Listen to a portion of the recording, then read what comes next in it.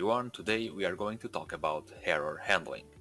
In a logic app perspective, error handling refers to the process of detecting, managing, and responding to errors or exceptions that occur during the execution of a logic app workflow. Error handling is crucial to ensure the reliability and resiliency of your logic app as it allows you to handle unexpected situations and take appropriate actions. Here are some key aspects of error handling in logic apps and how they can be managed. Error detection. Logic apps provide built-in capabilities to detect errors during the execution of individual actions or the entire workflow. Each action in a logic app can have its own error handling mechanism, and errors can be categorized based on their severity and impact on the workflow. Exception handling. When an error occurs, logic apps can be configured to handle exceptions by defining specific error handling. For example, you can use the scope action to encapsulate a set of actions and apply exception handling within the scope. Within the scope, you can catch and handle specific types of errors or exceptions using conditions and actions like condition or control connectors. Retry mechanisms. Logic apps offer retry policies that allow you to automatically retry failed actions or trigger certain actions in response to errors. You can configure the retry policy with its parameters like the number of retries, interval between retries, and the type of errors to retry. This helps you dealing with temporary failures or transient issues that may occur during execution. Error handling actions. Logic apps provide a variety of actions that can be used to manage errors. Some common error handling actions include terminate to stop the workflow, initialize variable to store error details, send an email to notify stakeholders, or post to a Slack channel for team communication. These actions enable you to respond to errors based on specific requirements. Logging and monitoring. To effectively manage errors, it's important to have visibility into the execution and error details. Logic apps integrate with monitoring and logging services such as Azure Monitor and Azure Log Analytics, allowing you to collect and analyze logs, metrics, and traces. This tool can help you identify patterns, troubleshoot issues, and proactively monitor the health of your Logic apps. Custom error handling. Logic apps also support custom error handling scenarios by allowing you to define your own error handling workflows or integrate with external systems for advanced error management. For example, you can use connectors like Azure Functions or Azure Logic Apps custom connectors to implement complex error handling logic. When designing a business process, one of the most important design considerations you need to keep in mind is what happens when things go wrong. By default, Logic Apps allow us to handle errors by using the configure run after settings at the per action level. This is what common programming languages like C Sharp do. Line 5 will only be executed if line 4 executes with success. Line 7 will only be executed if line 5 executes with success, and so on. If an error happens on one of these lines, the function or program will be interrupted there. The same behavior uh, happens on logic apps. An upcoming action will run if the current one is finished with success. However, in logic app, we have the possibility to easily change this behavior and kind of implement a try-catch per action level. But first, let's talk about the configure run after, to understand what it is and what allow us to do. Now let's consider that we have this JSON payload. And what we pretend to do is to send a request via Postman to a Logic App consumption. And the Logic App must be like this. We start with the trigger when HTTP request is received, and we generate the schema with the payload JSON on the trigger connector. After the schema is generated, let's initialize two variables. The first with the name age and the type must be an integer, the second with the name name and the type must be a string. In each of them, you must dynamically choose the content, in this case, the name, that was generated previously by the schema. Next, add a send email action from Outlook, and you can use the same structure as we did. Of course, with this, since the name is not an integer, the logic app will fail. But since we are talking about errors and error handling, this is exactly what we pretend. Next we are going to send a request to this logic app and check the runs to understand what happened. Of course, we had a failed run, and the message in the action tells us why this logic app failed, and it makes total sense. That request, the variable age of type integer cannot be initialized or updated with the value of type string. The variable age only supports values of type integer. The problem with this situation is that the logic app stopped when the error occurred, and all the other actions were skipped. This means that ultimately we did not receive the email we are expecting. So how can we still receive the email after all? To solve this, we can use a run after. And to do so, click on the three dots on the variable name, and then click on the configure run after. Next, configure the run after, meaning that the variable name should only run after the variable age has failed.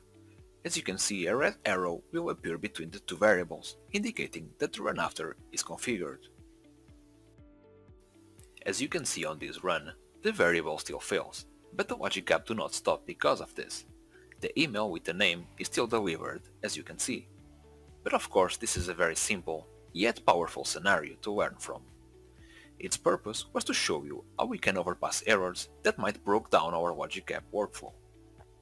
By understanding this, we can now dive deeper into more complex scenarios. In this next example, as you can see in this picture, by default the upcoming action will run if the previous one is finished with success. Initialize var with HTML body email template action will run if the FA monitoring API connections report action is successfully finished. Send Azure API connections broken report email action will run if initialize var with HTML body email template action is successfully finished and this behavior makes all sense.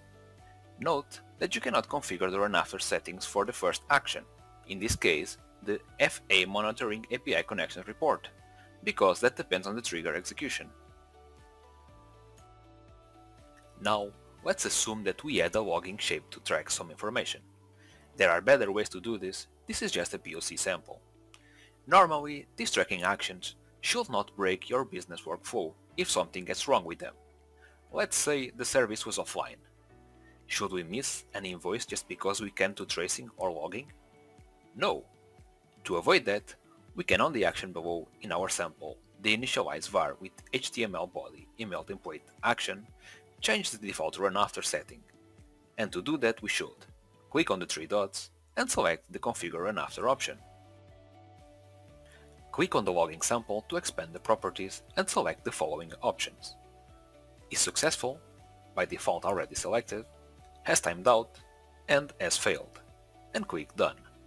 So now the initialize var with HTML body email template action will be executed even if the logging sample action fails, give a timeout, or is executed with success as we expected. The important is that will not impact the critical logic of your business workflow. And you can apply this strategy to all shapes. Use it carefully and according to your business logic.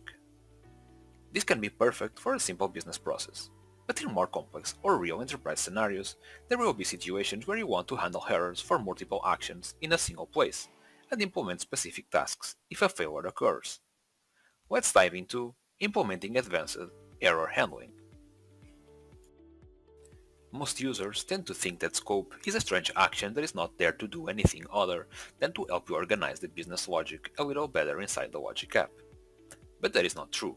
The reality is that scopes have many functionalities, like region statement, the capability to organize your business logic and have specific areas that you can collapse and expand whenever you need it. Try, catch, finally statement, advanced error handling capabilities. And it is the second capability that allows us to implement advanced error handling capabilities by creating a try-catch statement consisting of a try block followed by one catch clause to handle different exceptions that can occur in the try block, or creating a try-catch finally statement. Once again, this is quite normal on traditional programming languages like C Sharp, where we use a try-catch and try-catch finally statements. The try-catch finally statement handles some or all of the errors that may occur in a block of code. These errors can be coding errors made by the programmer, errors due to wrong input, and other unforeseeable things. The try statement allows you to define a block of code to be tested for errors while it's being executed. These will be your actions inside the logic app that describe the logic of your business process.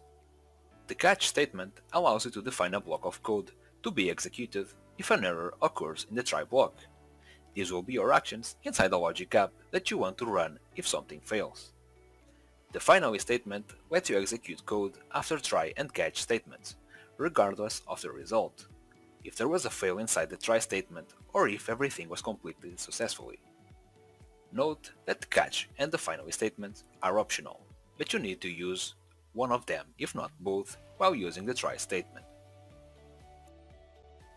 To implement a try-catch or a try-catch finally statements in a logic app, we need to add a scope. We can call it try scope.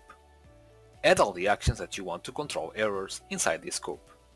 Just immediately after the try scope action, add a new scope. We can call it catch scope. Add all the actions necessary to perform in case of errors, like rollback actions or logging actions. Now on the catch scope action, click on the three dots and select Configure Run After option. Click on the try scope to present the Run After options and select as failed, as timed out, and select the is successful option and click Done. With this, we have implemented a try-catch statement. Now, if we want to implement a try-catch finally statement, we just need to, immediately after the catch scope action, add a new scope. We can call it finally scope, and add all the actions that will be executed no matter the try scope is executed successfully or if the catch scope is executed. Now on the finally scope action, click on the three dots and select Configure Run After option. Click on the catch scope to present the Run After options and select all the options. Is successful, as timed out, is skipped, and has failed, and click Done. And there you go, we have a try-catch finally statement implemented. Important note, even inside the scope, we can implement kind of a try-catch per action level.